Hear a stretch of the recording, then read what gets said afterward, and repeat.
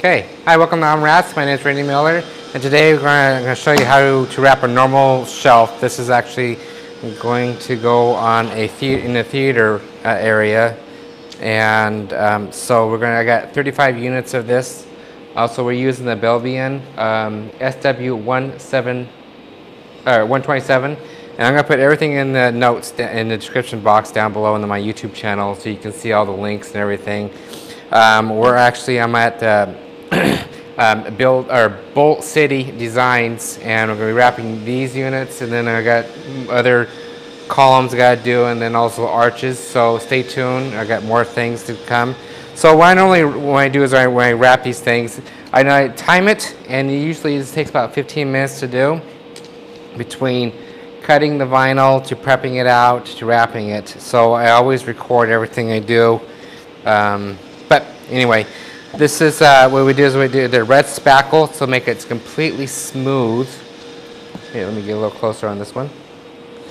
And so it's completely uh, flat and get all the, the nail holes and everything. We're not going to wrap in here, but we're just going to wrap right up to here. So first thing I do is I get nice and clean so you can kind of see it's kind of dirty. So you want it as clean, clean, clean, clean, clean as possible. This is what I'm doing is I'm, I'm using rubbing alcohol and water, spraying it down, and I'm using a lint-free rag.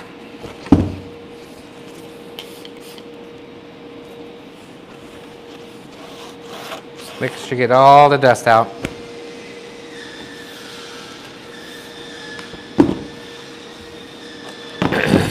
One last time. It only take a moment to dry.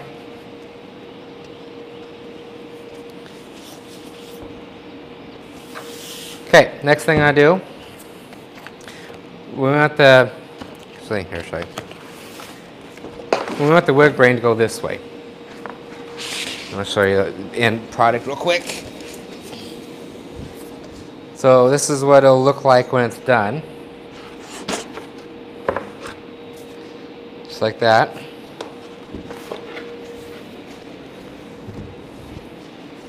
So what I normally do is this is the, I guess, the wall side right here.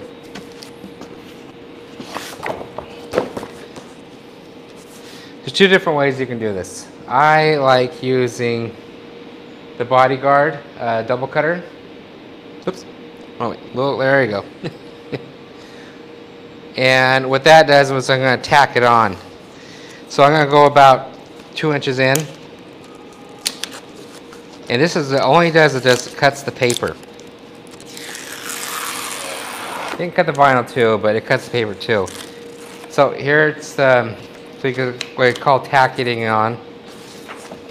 So I can actually adjust it, reread, you move it around, and get to exactly where I need to be. Make sure it's overlapped. Oops. And tack it on.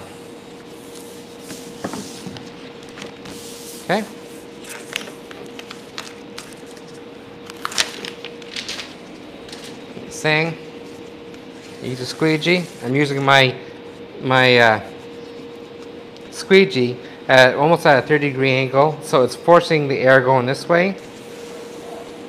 And I'm pushing kind of hard. Okay, so now it's nice and tacked on. So now what I'm going to do is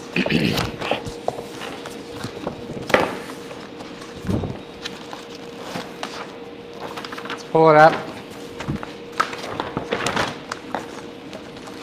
So see how it's kind of letting the vinyl or the paper arch up.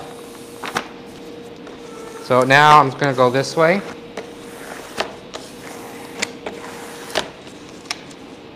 Pull the backing out a little bit.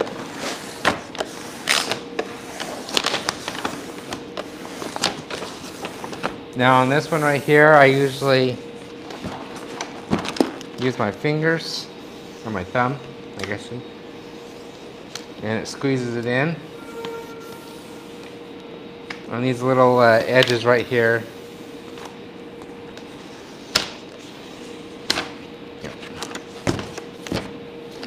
Same thing, just pulling it back. using my thumb, just tack it on. Now I'm going to use my squeegee. I don't know if you can hear that. The air bubbles are, are forcing this way out. And that means I got a good coverage. Very last, I like to use my, the hands are the best. Okay, because you can feel everything.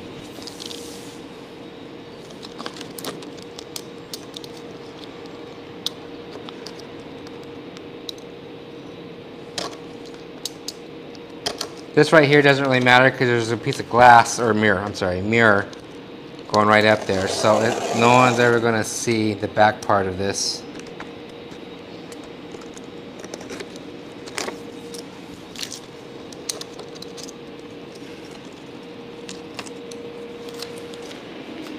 Now I just have to um, let's cut the excess off.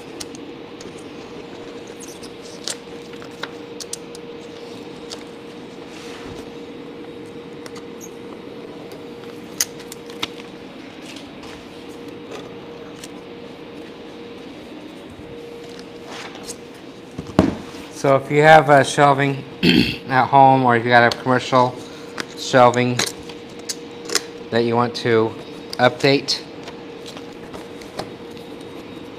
or make it look cool or something different, uh, if you have like melamine right here, we have right what you're seeing right here is the white, or uh, MDF boards. You can make MDF boards. I recommend using a uh, what's called Zinsser Gardz. And uh, so make your design uh, using MDF, MDF board.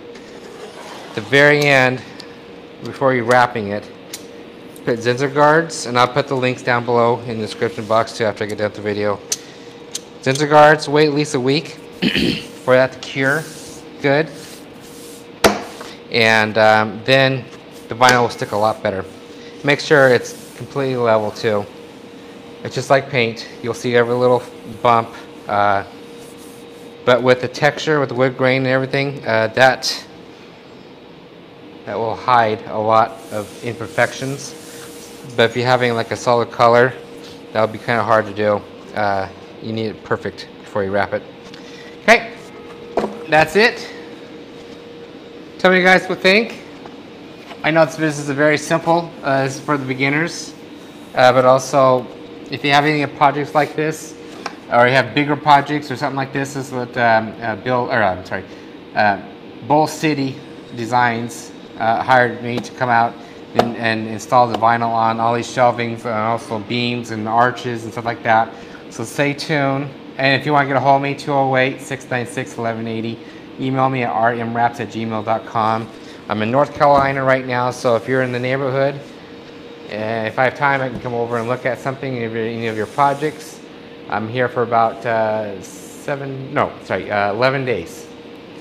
So, uh, other than that, stay tuned. I got more arches and other things, big arches coming your way, and also I got other projects right here. So, uh, yeah, leave a comment, and I'll answer that after you get done. Thanks for watching. If you like this, subscribe to me. Uh, give me a thumbs up if you like. Uh, if you learning more new stuff about this, I'll show you more uh, tricks and tips and everything. But other than that, talk to you soon. I got. I'm gonna do another video soon on these beams. All right. Thanks, guys.